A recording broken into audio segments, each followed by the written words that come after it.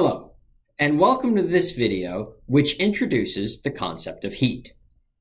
We already know that work is one way in which we can transfer energy. But you might be thinking to yourself, is there another way we can transfer energy into or out of a system? We know, for example, that if I place a warm soda in contact with a cold ice cube, the soda cools and some of the ice cube melts until the two come to a constant temperature. It certainly seems that energy is being transferred in this process. How is the energy being transferred in a process like this?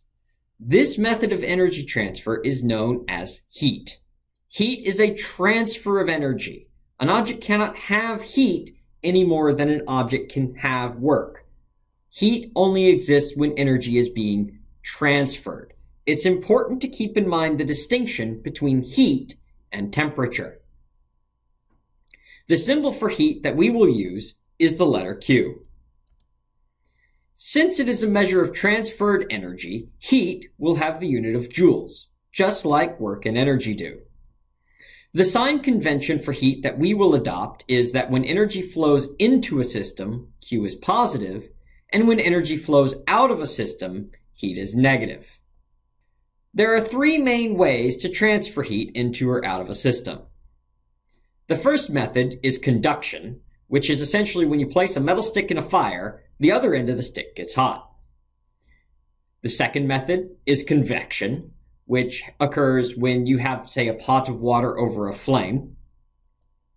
And the third method is radiation, where light from the sun warms the earth. Let's now explore these three processes in a little bit more detail. Conduction occurs when atoms in a material collide with each other. So let's assume we have some sort of solid. And of course, inside the solid, the atoms are arranged in some regular pattern.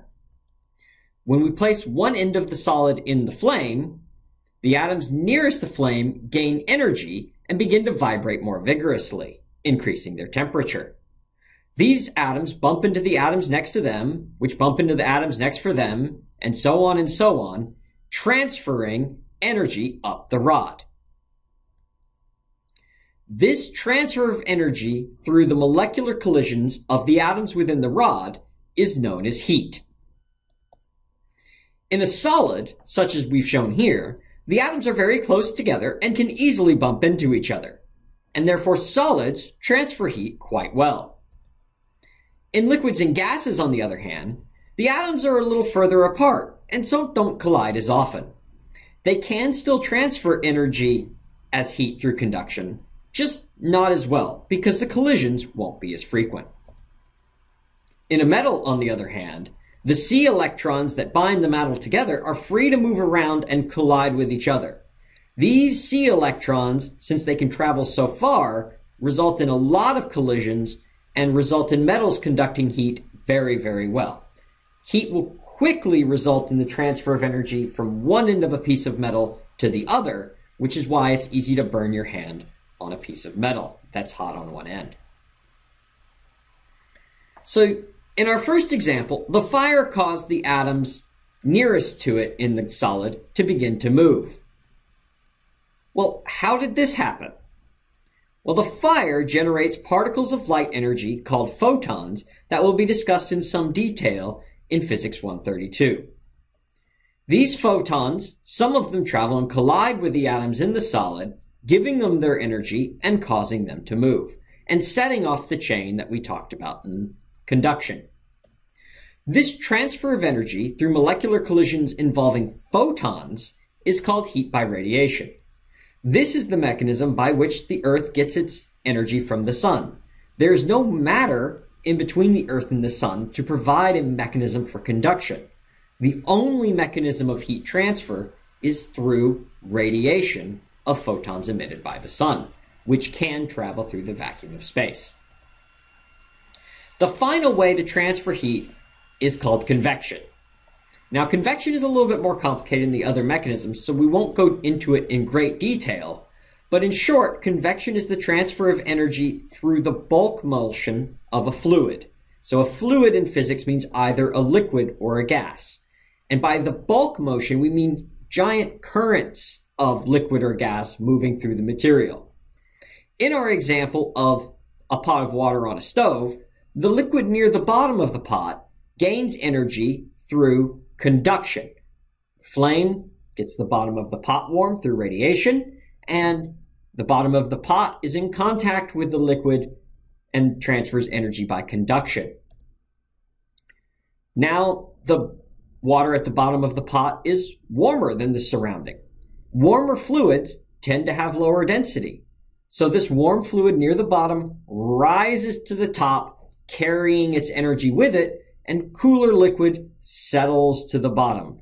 And thus we get this current up in the middle and down the outside, bulk motion of the water transferring energy through the system. This is something that we see a lot and is of critical importance in the motion of the oceans. Cool water from the poles sinks to the bottom of the ocean, travels down to the equator where it's warmed up by the sun, and then rises back to the top, distributing energy and nutrients throughout the ocean. So now we've talked about the three methods of heat transfer conduction, radiation, and convection. What's the commonality between all of these three different methods? All of these three different methods are, at the microscopic level, the transfer of energy through random collisions. In conduction, the atoms are colliding with each other. In radiation, you have the collision of photons with atoms. And in convection, you have the transfer of energy through the motion of the fluid itself. And this is what heat really is. It's the transfer of energy through collisions at the microscopic scale. So in summary, heat, which we will use the letter Q to represent, is another way of transferring energy. Energy entering the system has positive heat in our convention, and energy leaving the system has negative heat in our convention. This energy transfer can occur in one of three ways conduction, convection, or radiation, but all of these methods are, at the molecular level, collisions between particles. This concludes this video.